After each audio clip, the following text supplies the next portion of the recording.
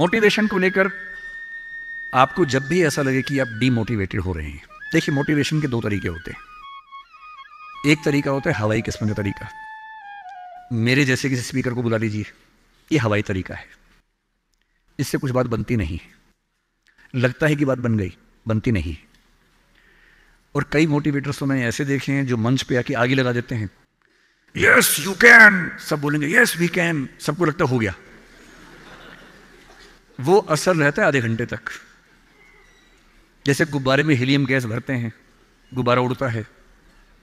गुब्बारे को लगता है कि मैं तो महान हूँ, मैं तो हवा में हूँ, आसमान में हूँ।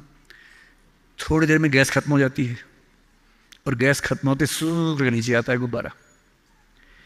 एक तो वैसा मोटिवेशन है कि मैं थोड़ी आग लगा दूँ, दस बार ज़ोर से बोलूँ, आप भी बोलो ज़ोर ज़ोर से, एकदम खून गर्म हो जाए, आप बाहर निकले, आपको लग रहा है कि आप कुछ भी कर सकते हैं। आधे घंटे बाद लग रहा है, अरे, हम तो वैसे के वैसे हैं।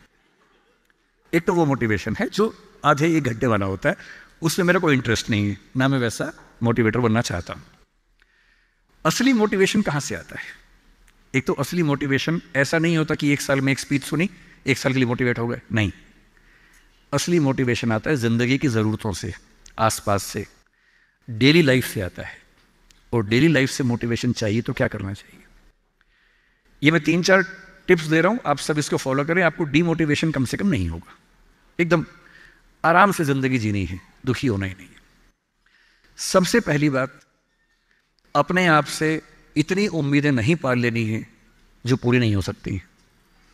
और मैं आमतौर पर जब मोटिवेशन के लिए कोई मुझसे कहता है ना, मैं कहता हूँ, बच्चों को मत बुलाइए, उनके पेरेंट्स को बुला लीजिए। पेरेंट्स को समझाना ज़्यादा ज़रूरी होता है कि बच्चों से इतनी उम्मीदें ना पाल लें कि बच्चों को जीना मुश्किल हो जाए। पेरेंट्स की एजुकेशन ज़्यादा ज़रूरी है। भाई, मैं देखता हूँ, मेरा बेटा पढ़ने में ठीक है, बहुत तोप नहीं है। मैं चाहता भी नहीं कि तोप बने। ठीक से पढ़ ले, मस्त रहे एकदम। पर हमारे गली मोहल्ले में कुछ बच्चे तोप हैं। उनके माता पिता रात दिन लगे रहते हैं। मम्मी फिर से टेंथ क्लास कर रही हैं, पापा भी टेंथ क्लास कर रहे हैं, बच्चा भी कर रहा है। रात दिन माँ बाप भी पढ़ा रहे हैं उसको, बच्चा पढ़ रहा है। पूरी फैमिली टेंथ क्लास कर रही है।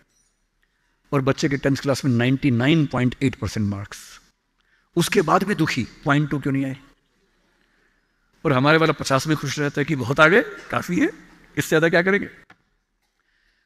अगर आपने बच्चों से इतनी उम्मीदें पाली, इतना कंपटीशन में उलझा दिया, बेटा तुम्हें फ़र्स्ट आना है टॉप करना है हंड्रेड परसेंट लाना है, ये करना है, वो करना है, आपका बच्चा कितना भी टॉप कर ले, वो कभी खुश इंसान नहीं बन पाएगा। और पेरेंट्स के लिए सबसे ज़रूरी होना चाहिए कि आपका बच्चा खुश रहे। ठीक इंसान बन जाए आपके बुढ़ापे में आपकी चिंता कर ले। मन ही मन आपसे नफरत ना करने लगे। जब मेरे पास बच्चे अकेले में आके बात करते हैं कभी कभी रोते हुए बोलते हैं, मुझे अपने पेरेंट्स से नफरत है। नफरत। उन्होंने मुझे एक मशीन समझा अपनी इच्छाएँ पूरी करने के लिए। मेरा मन था ये करने का धमका धमका कि ये फ़ील्ड दिलवाई, जो फ़ील्ड मेरा स्वधर्म है ही नहीं। मैं रोज पढ़ता हूँ रो रो के, मेरा मन नहीं करता पढ़ने का, क्योंकि मेरी फ़ील्ड थी ही नहीं। इसलिए आप सबसे कह रहा हूँ, हर व्यक्ति हर काम नहीं कर सकता, पर हर व्यक्ति कुछ ना कुछ अच्छा कर सकता है। और वो कुछ ना कुछ अच्छा क्या है? जो आपका स्वधर्म है। इतने उम्मीद मत पालिए। मसलन, क्रिकेट भारत का शौक आजकल सब लोगों को हो गया है। लाखों बच्चे क्रिकेट खेल रहे हैं गली मोहल्ले में। सबको आईपीएल में आना है, सबको भारत की टीम में आना है। पर भारत की टीम में कुल सोलह लोग आएँगे। उनमें भी ग्यारह खेलेंगे, पाँच बाहर बैठेंगे। और लाखों लोग क्रिकेट खेल रहे हैं, रात दिन की टीम में आना है। ध्यान रखना है। आप जो भी रास्ता चुनेंगे, उसमें सफल होने से ज़्यादा संभावना विफल होने की है। इसलिए तैयारी करते हुए इस चीज़ की भी तैयारी करनी है कि नहीं हुआ तो क्या होगा। और मैं बच्चों को बार बार कहता हूँ, ज़िंदगी बहुत बड़ी है। नौकरी ज़िंदगी का एक छोटा सा हिस्सा है। मिले, बढ़िया, ना मिले, भड़ में जाए। एकदम भड़ में जाए। और मैंने खूब देखा है आईएएस एस बनने के बाद भी कुछ लोग आत्महत्या कर लेते हैं दुख से। तनाव से, परेशानी से। और मैंने देखा कुछ लोग छोटी सी नौकरी में इतने मस्त मौला होते हैं कि ज़िंदगी की हर खुशी जैसे उनके पास ही है। अंत में खुश रहना है तो उसके लिए कोई एक नौकरी ज़रूरी छोड़ना है। मिलेगी तो बढ़िया है, ना मिले तो भाड़ में जाए। तो अपना तकिया कलाम बना लीजिए। तकिया कलाम का मतलब अपनी एक पंच लाइन बना लीजिए, अपनी एक मिशन स्टेटमेंट बना लीजिए कि ताकत लगाएँगे पूरी। पूरी ताकत से कोशिश करेंगे कि जो मैं चाहता हूँ जज बनना है पॉलिटिशियन बनना है आईएएस बनना है, जो बनना है, बनूँ। उद्यम करना है, उद्यम करूँ स्टार्टअप करना स्टार्टअप करूँ। पर नहीं हुआ। कोई पूछे ना, अगर नहीं हुआ तो पूरा भाड़ में जाए। क्या हो गया, नहीं हुआ तो कुछ और करेंगे। तू नहीं, कोई और सही, कोई और नहीं, कोई और सही। ये इंसान के बारे में नहीं, अभी नौकरी के बारे में है। ये नौकरी नहीं तो कोई और नौकरी सही कोई और नौकरी तो कोई और नौकरी सही ऐसा क्या हज़ार ऑप्शन है। तो खुद से उम्मीदें कम। दूसरा, अपने आसपास तीन चार लोग ऐसे रखिए जो कायदे के लोग हो। आपके जो दोस्त होते हैं ना जो सबसे अच्छा दोस्त है, वो पूरा दोस्त नहीं होता, थोड़ा सा दुश्मन भी होता है।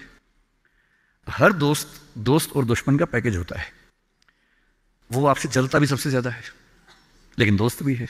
आपके राज राज रखता है। आपके पेरेंट्स को वो सब नहीं बताता, जो पेरेंट्स पूछते हैं उससे। क्योंकि आप भी नहीं बता रहे उसके पेरेंट्स को। एक म्यूचुअल अंडरस्टैंडिंग है। लेकिन जब दोस्त, ऐसा होता ना कि दूसरा दोस्त सफल हो जाए तो हमें जलन होती है, ईर्ष्या होती है, जो कि नेचुरल है। दुखी नहीं होना है। कोई दोस्त आपको पूछे, अगर मैं सिलेक्ट हो गया तो नहीं हुआ तो जलन होगी? झूठ मत बोलना। बोलना हाँ होगी। नॉर्मल है, सबको होती है, मुझे भी होगी। लेकिन इतनी नहीं होगी कि मैं तेरे खिलाफ कुछ काम करना चाहूँ। थोड़ी होगी ह्यूमन बींग हूँ ह्यूमन साइकोलॉजी है तो मैं उससे कैसे बच सकता हूँ? अपने आसपास तीन चार ऐसे लोग रखिए, जो जनरली पॉजिटिव रहते हों, मनहूस ना हो। ये दुनिया मनहूस लोगों से भरी हुई है। आप कुछ भी करने लगेंगे आप कहेंगे मैं सोच रहा हूँ कि अपना काम शुरू करूँ। लोग कहेंगे अरे पागल मर जाएगा। अरे पागल तेरे खानदान में किसी ने किया आज तक? अरे तेरे बस की बात नहीं है। अरे छोड़ दे तुझसे होगा ही नहीं। मैंने पहले ही कहा था नहीं होगा। इन मनहूसों से दूर रहिए। ऐसे दो चार लोग जो थोड़ा पॉजिटिव हों और सोच समझ के सलाह दे। जैसे आप कहें कि मैं सोच रहा हूँ कि मैं आई से तैयारी कर लूँ। आपका दोस्त कहेगी देख भाई मैं तेरे साथ हूँ। सपोर्ट करूँगा। लेकिन ये तीन चार बातें हैं पहले सोच लो। इन इन बातों पे अगर ठीक लगे तो आगे बढ़ो, क्योंकि लंबी स्ट्रगल है। हाँ स्ट्रगल करोगे तो मैं साथ में हूँ, कोई दिक्कत नहीं आएगी। तीसरा छोटे छोटे टारगेट्स छोटा छोटा कंपटीशन जीवन में रखिए। एक लंबी यात्रा एक झटके में नहीं होती है, बहुत छोटे छोटे टारगेट से पूरी होती है। जैसे मैं रोज़ आठ घंटे पढ़ूँगा, आज मुझे इतना सिलेबस कर लेना है, उतना कर लीजिए। एक टाइम टेबल बना लीजिए। टाइम टेबल हमेशा पूरा नहीं होता है। वीक में पाँच दिन पूरा हो जाए, सही है। दो दिन नहीं होगा। क्योंकि इस उम्र में क्या होता है कि पाँच दिन पढ़ लिए छठे दिन जा रहे थे, किसी को देख के अच्छा लग गया। अब उसी की याद में खोए हुए हैं। पढ़ाई नहीं हो रही है। तो वो भी करना है ना, इंसान बने रहना है। मशीन नहीं बनना है। तो पाँच दिन पढ़िए छठे दिन मोहब्बत का रखिए, दोस्ती का रखिए, खेलने का रखिए और इन सब चीज़ों को मैनेज करते हुए एक अच्छी लाइफ के साथ अगर टारगेट्स लेके चलेंगे छोटा छोटा कॉम्पिटिशन अपने दोस्तों के साथ करते हुए आगे बढ़े तो मोटिवेशन आमतौर बना रहता है। और जब जब डीमोटिवेशन ज़्यादा होने लगे तो मेरे जैसे किसी की बात सुन लीजिए। एक दो घंटे के लिए गुब्बारा फूल जाएगा और दो घंटे के लिए अगर उस उस फ़ेज़ से आप निकल गए तो चीज़ें ठीक रहेंगी।